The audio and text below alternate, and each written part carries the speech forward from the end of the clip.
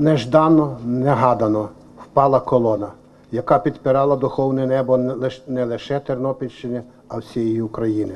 Україна побільшала ще на один горбик землі, а серця рідних, знайомих, побратимів побільшало ще на один рубець. Такі рядки з'явились на сторінках газет України та зарубіжжя після смерті Ігоря Герети. Про свого побратима Богдан Хаварівський писав коротко, але дуже влучно. Громадсько-політичний діяч, археолог, мистецтвознавець, історик, поет, викладач, ким тільки не був і чим тільки не займався Ігор Герета. Саме йому Тернопільщина завдячує, зокрема, і школою мистецтв, яка прийняла перших учнів у 1994 році.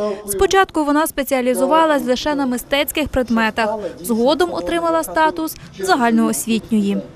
Наказом міністерства та школа створювалась ніби як школа мистецтв, така традиційна школа мистецтв. Але з самого початку він її бачив як школу комплексну, де повинні діти отримувати і загальну освіту, і мистецьку освіту. Причому вона створювалася як школа обласна. Він був тим, про кого патріарх Йосиф Сліпий колись сказав, що інтелігенція це є мозок нації. Інтелігенція не в значенні причетності до певної професії, а інтелігенція по духу.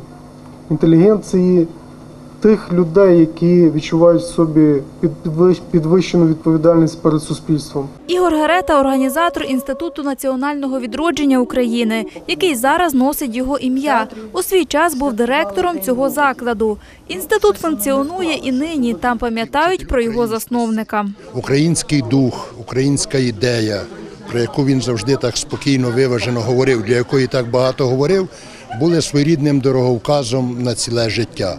Тому сьогодні інститут продовжує оцю лінію українства, лінію просвітництва десятками дисертацій, десятками книг. І сьогодні ви почули, що є багато проєктів, багато дій, які вартують герети. Ігор Герета особисто для мене є взірцем не тільки безкорисливого служіння Україні, взірцем поміркованого і відповідального служіння цій державі. Досвід, ініціативи, пропозиції, які відходили від Ігоря Герети, з моєї точки зору, найбільш повно відповідають сьогоднішнім вимогам.